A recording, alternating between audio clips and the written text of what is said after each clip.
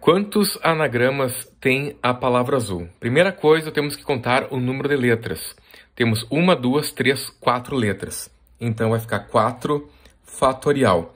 E aí verificar se alguma letra se repete. O A não se repete, o Z também não, o U também não e o L também não. Então vai ficar 4 fatorial. E 4 fatorial é 4 multiplicado por 3, multiplicado por 2, multiplicado até o número 1. Só fazer essa conta. 4 vezes 3, 12. 12 vezes 2, 24. E a resposta é B Brasil. Quantos anagramas tem a palavra azul 24? 24 o quê? 24 formas de combinações da palavra azul.